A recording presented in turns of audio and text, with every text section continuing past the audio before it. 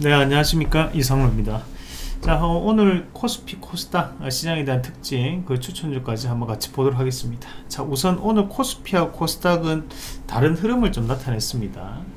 자 우리가 코스피는 오르고 코스닥은 하락하는 모습이 나타났는데 어, 이렇게 이제 또 보시는 분들이 계세요. 이러면 이제 코스피가를 사야 될까요? 코스닥을 사야 될까요? 이렇게 이제 많이들 물으시는데요.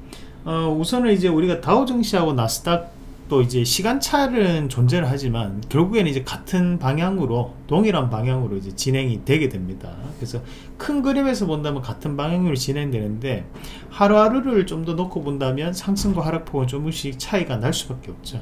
코스피도 코스닥도 마찬가지입니다. 어, 코스피는 우리가 이제 국내 대기업들 위주로의 그런 시장이라고 볼 수 있고 코스닥은 그에 따른 협력 밴드 업체들이 또 코스닥을 많이 이루고 있고 기술적인 부분을 보유하고 있는 기업들이 많이 포함이 되어 있습니다. 그렇다 보니까 코스피는 좋은데 코스닥은 안 좋다. 그렇게 이제 유지가 되기는 힘들다고 먼저 보시면 되겠습니다. 그러면 오늘 시장에서는 이런 괴리가 움직여졌지만 결국에는 어, 동일한 방향으로 진행될 가능성이 높다. 어, 그렇게 이제 좀 봐야 될 것 같고 어, 그리고 이제 환율 같은 게 1420원을 가리키면서 오늘 안정화 양상이 또 나타났어요. 어, 우리가 이제 1440원을 돌파하면서 다시 1450원에 대한 그 위험 수준에 대한 부분 자체를 또 돌파하지 않을까라는 우려감은 존재를 했지만 다시 한 번 더 환율이 안정되면서 채권 시장에 대한 불안감도 일부 완화되는 모습들이었고 증권 시장에 대한 불안감도 완화되는 그런 양상을 보였다. 자 유가가 84달러를 기록을 하고 있는 어, 부분입니다. 그래서 아직 유가도 힘싸움을 벌이고 있는 그런 양상이라고 볼 수 있겠습니다. 자 코스피에서는 개인이 4,970억 원 많은 매도를 나타낸 반면에 외국인은 6,136억 원에 대한 매수를 나타냈습니다. 자 그리고 기간은 1,194억 원 매도를 나타내는 모습을 보였습니다. 자 어제와 마찬가지로 외국인들이 오늘도 전기전 접종에 대한 강한 매수세를 보였습니다. 아, 좀 이따 SK이닉스에 대한 실적 얘기도 함께 풀어서 볼 텐데요. 그때 한 번 더 말씀을 드리도록 하고 자 코스닥은 개인이 814억 원의 매수 외국인이 591억 원의 매도 그리고 기간이 263억 원의 매도를 나타내면서 오늘 또 하락에 대한 부분 자체에서 외국인들에 대한 매도가 IT 기업들을 중심으로 나타났다 어, 그렇게 또 볼 수 있겠습니다 자 어, 전반적으로 이제 시장 자체가 개별적인 성향을 보이는 가운데 오늘 반도체 업종에 대한 부분에서 어, 삼성전자나 SK하이닉스 이런 시총 상위 종목군들이 좋은 모습 보이면서 지수를 좀 끌어올리는 그런 양상이었다고 좀 볼 수 있겠습니다. 자 어, 그러면 이제 우리가 거기에 오늘 준비했던 내용들 보면 우선 미국의 실적 시즌 자 지금 현재 다우증시와 나스닥이 꾸준한 상승을 나타내는 적삼이 이루어졌어요. 어, 그러면서 이제 실적 시즌이 현재 소리 없이 강하다. 자 제가 유일하게 지금 현재 호재가 될 수 있는 것이 바로 실적이라고 했다 그죠? 그래서 3분기 악재에 대한 부분 자체의 실적은 이미 주가가 하락하면서 선반영 됐다고 봐야 되는 거고 여기에 따른 반등은 어, 이제 앞으로에 대한 기대감 그리고 악재가 선반영 됐다라는 어, 우려감이 완화되는 그런 부분이라고 해석을 해야 된다고 했죠. 그래서 지금 반등이 나타나고 있는데 변수는 뭐가 있을까? 그걸 실적을 발표할 수 있는 기업들은 또 어떤 기업들이 있을지 한번 짚어보도록 하고요. 자 SK이닉스가 오늘 실적 쇼크가 나타났습니다. 하지만 주가는 큰 움직임 자체가 보이지 않았고 오히려 이제 SK하이닉스 같은 경우에는 어, 수급적인 부분에서 봤을 때 오늘 외국인들이 매수가 유입되는 모습까지도 나타났습니다. 이걸 어떻게 해석해야 될지도 한번 상세하게 말씀을 드리겠습니다. 자, 그리고 코스피, 코스닥 지수는 어떻게 움직일까 앞으로 그 부분, 고려 내일장 추천주까지 같이 한번 보도록 하겠습니다. 자, 우선은 우리가 미국 기업들에 대한 실적 발표 일정들을 보면 중요한 기업들만 좀 뽑았는데요. 우선은 오늘 밤에 메타 어, 우리가 이제 페이스북이었죠. 그래서 인스타그램이라든지 또는 이제 페이스북에 대한 그런 실적적인 부분 자체가 드러날 수 있기 때문에 메타에 대한 실적은 중요하겠다 그죠? 그래서 어떤 움직임을 보일지 그리고 보잉. 어, 지금 이제 코로나가 완화되고 뭐 다른 나라 같은 경우는 거의 뭐 코로나를 이제 신경 안 쓰는 그런 단계까지 가버리고 있기 때문에 이런 보잉에 대한 부분 물동량에 대한 부분은 우리가 또 확인이 가능하겠고요. 그리고 포드 포드 중요하죠. 자 이베이 미국의 소비 지표로도 또 볼 수 있는 이베이에 대한 실적. 그리고 27일 같은 경우는 애플 그리고 아마존, 맥도날드, 인텔 기업이 또 실적 발표를 하면서 나스닥 기술주들이 상승 랠리를 이어갈지에 대한 변곡점 역할을 할 가능성이 좀 높아 보입니다. 자, 28일 날은 이제 엑슨모빌, 코테라 에너지 같은 어, 우리가 흔히 얘기하는 에너지 관련주들에 대한 실적 발표가 또 예정이 되어 있고요. 31일은 버크시 해스웨이 그리고 이제 언더아머 어, 이런 또 소비 관련된 기업들의 실적 발표가 예정돼 있다. 11월 달 실적도 우리가 AMD라든지 이런 기업들이 1일 날 실적 발표를 앞두고 있는데 뭐 그때 다시 한 번 더 설명을 해드리도록 하겠습니다.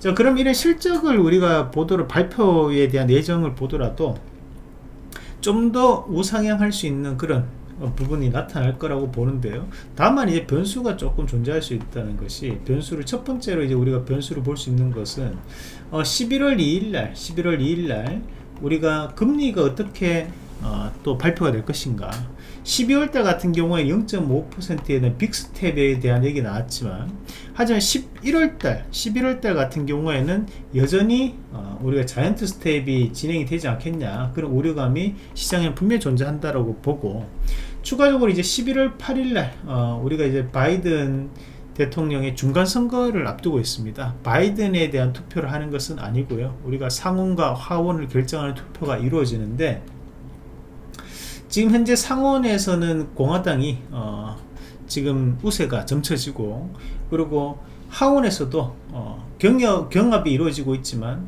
그래도 아직까지는 공화당이 좀 더 유리하지 않나 어, 그런 국면이 좀 이어지고 있습니다. 그래서 지금 현재 민주당 측과 바이든 대통령 측은 경제 얘기를 계속적으로 하고 있고 그리고 일자리에 대한 얘기 그리고 물가를 잡기 위한 공격적인 메시지를 지금 띄고 있습니다 어, 그러면서 지금 현재 글로벌적인 부분에서 강대강 기조를 연출을 하고 있는데요. 그래서 이런 강대강 기조가 어떻게 바뀔지 여부. 그래서 중국과 미국에 대한 대립 관계, 러시아와 미국에 대한 대립 관계. 자, 이런 기조에 대한 부분에서 변수가 좀 등장할 수 있다. 라는 거 참고를 좀 할 필요가 있고 마찬가지로 이제 이 선거에 대한 부분 자체가 또 발표가 되면서 그 다음에 어, 시장에 대한 변수가 또 생성될 가능성이 좀 있다는 것까지 좀 참고를 하시면 어, 좋을 것 같습니다. 그래서 당분간은 지금 실적 이슈가 호재로 지금 여겨지고 있기 때문에 미국 증시 같은 경우에는 큰 하락보다는 우리가 완만한 정도의 상승과 하락 제한적인 상승 하락이죠 그런 박스권 형태에 대한 움직임이 나올 가능성이 좀 높지 않나 어, 그렇게 지금 봅니다. 자, 어, 그러면 우리가 지금 오늘 SK하이닉스가 실적 발표를 했는데 어닝 쇼크가 드러났어요. 그래서 우리가 실적을 보면 어, OP 바로 영업이익이라 영업이익이 1조 6,556억 원을 발표했고 전년 동기 대비해서 60.5% 아, 자 상당히 많이 빠졌습니다. 그리고 매출도 20%가 감소를 했어요. 마진폭이 엄청나게 줄었다 그죠? 어, 여기에 대해서 이제 우리가 그러면 어, 실적에 대한 부분 자체가 주가에 선반영 됐는지 안 됐는지 그 부분도 좀 봐야 될 것 같은데 우선 이제 주가 추이를 잠깐 한번 같이 살펴보도록 하겠습니다. 스캐닉스에 대한 주가를 보면 꾸준하게 지금 하락을 하고 있는 양상을 볼 수 있고요 우리가 2분기 7월달 어, 이후에도 소폭 상승했다가 지금도 꾸준히 하락했고 최근 들어서 10월달 되고 난 다음부터 반등을 좀 나타내고 있는 그런 과정들인데 음, 저는 이제 개인적으로 실적이 좀 샜다고 보거든요. 왜냐하면 이제 10월 달부터는 이제 4분기죠. 어, 9월 달까지는 3분기고요. 그 3분기 지나고 4분기부터 주가가 지금 올라가기 시작했는데, 이는 이제 실적이나 악재가 선반영됐을 가능성이 좀 높다고 봐요. 그 이유는 즉슨, 현재 이제 이 1조 6,500억에, 5,500억에 대해, 1조 6,500억에 대한 실적은 자 분기 EPS 기준으로 1년 PR 밴드를 매기면 약 10.3배 구간입니다 어 뭐 이걸로 따진다면 우리가 분기만을 본다면 10.3배면 어 그렇게 뭐 나쁜 실적은 아니었어요 작년이 워낙 좋았기 때문에 지금 그의 잔 전년 동기 대비해서 60.5%까지 빠졌다는 것은 큰 충격을 와닿을 수 있지만 우리가 냉정하게 어, 우리가 숫자로서 한번 본다면 10.3배 정도 되면 어이 뭐, 뭐 대츠 나배드죠. 나쁘지 않은 상황 정도에 대한 실적을 발표를 했다는 거죠. 우리가 10배 10배를 기준으로 10배 이하면 저평가라고 흔히들 많이 얘기를 하거든요 마찬가지로 이제 3분기까지 누적 실적으로 한번 해보면 어, 1분기가 워낙 좋았었기 때문에 5.89배 수준입니다. 우리가 어, 보수적으로 보더라도 8배라고 얘기하는데 5.89배면 여전히 어, 저렴한 상황이었다는 거죠. 다만 우리가 요거 이 3분기가 누적 실적에 대한 부분으로 보면서 자 그런 적정 주가가 15만원대까지 가야 되는 거 아니야? 그렇게 생각이 좀 어려워요. 왜냐 자 지금 현재 반도체 가격에 DDR5와 DDR4에 대한 가격적인 추이를 보면 DDR5 같은 경우는 꾸준하게 하락을 하고 있는 상황이에요. 가격에 대한 반등 자체가 크게 이루어지지 않고 있고 마찬가지로 지금 DDR4램 같은 경우에도 일부 어, 소폭적인 반등은 나타났지만 그 추세는 여전히 꺾여 있는 구간이라는 거죠. 어, 이런 구간들을 감안했을 때 지금은 반도체에 대한 업황 부진에 대한 부분 자체가 여전히 숙제거리라는 겁니다. 그리고 거기에 따른 부분에서 투자를 감축하겠다는 뉴스가 일부 악재적인 부분으로 영향을 좀 줄 수 있다고 봐야 돼요. 자 그러면 지금에 대한 주가가 어, 여기서 갑작스럽게 하락을 하는 것은 저는 불가능하다.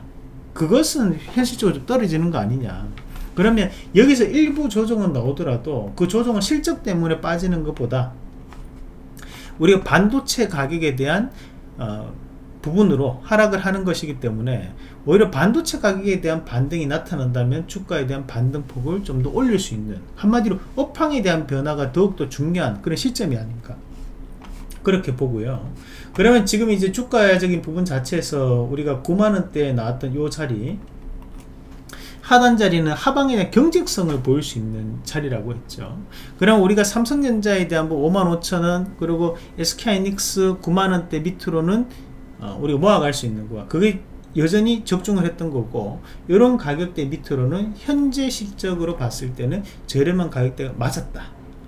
자 그러면 추가적으로 이제 상승을 한다면 상승에 대한 부분 자체도 제한적일 수밖에 없는 구간이라고 보는데요.